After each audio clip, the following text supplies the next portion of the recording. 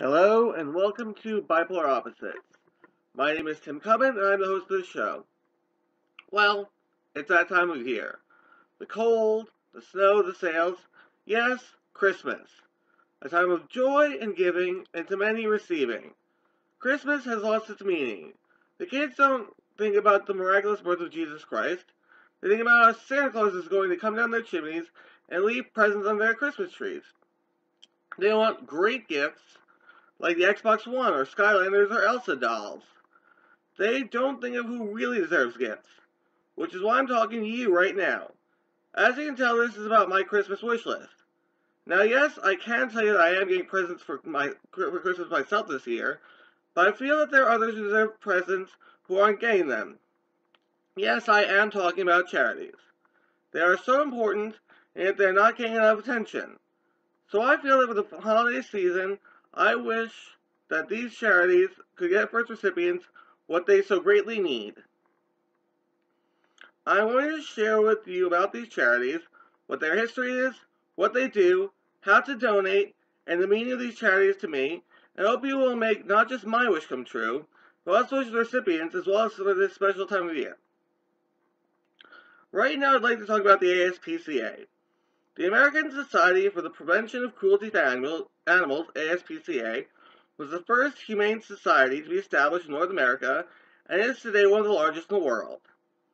The organization was founded by Henry Bergh in 1866 on the belief that animals are entitled to kind and respectful treatment at, to, at the hands of humans and must be protected under the law.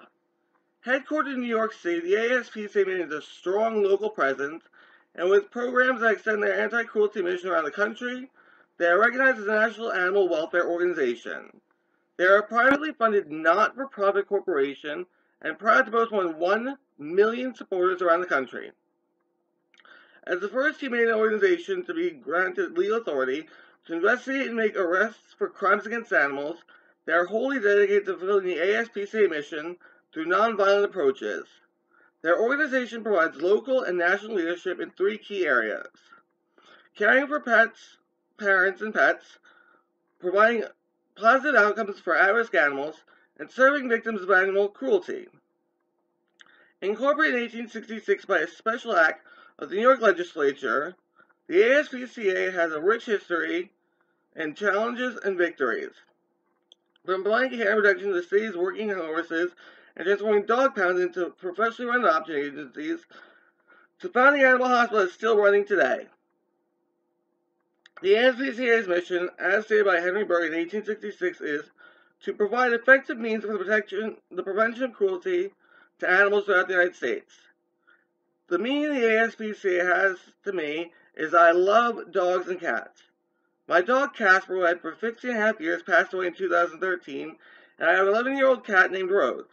The two of them had had such an important impact on my life, possibly even saving it, and up until Casper's death, I couldn't imagine life without him.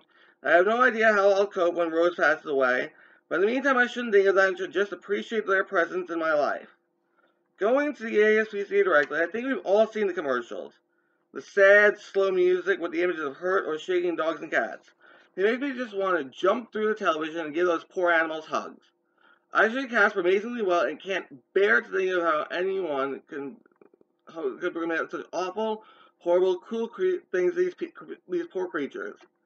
It hurts me to see them. So here's the part where you can fulfill not just my Christmas wish, but those of the poor animals out there suffering. The website to donate is https colon slash slash www.aspca.org slash donate. Now I know a lot of you figured that you have to sign up for a monthly thing, which is something you may not want to do. At this time of year, there is the option to do a holiday gift, which is a one-time deal, so you won't have to donate again unless you want to. I would be incredibly grateful, as with the animals, if you could fulfill my Christmas wish list. I thank you for watching this video, and if you would share this with others, that would be fantastic. Until next time, Tim Cubbin, out.